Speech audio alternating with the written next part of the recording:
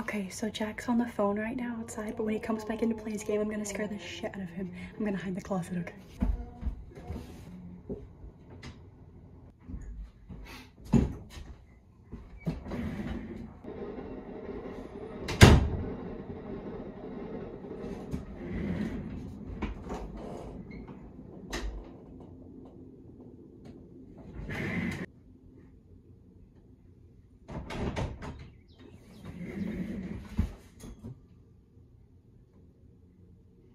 What the hell?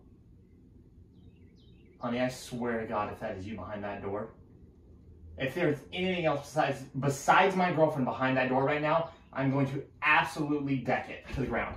Straight. Oh my God! Oh my God!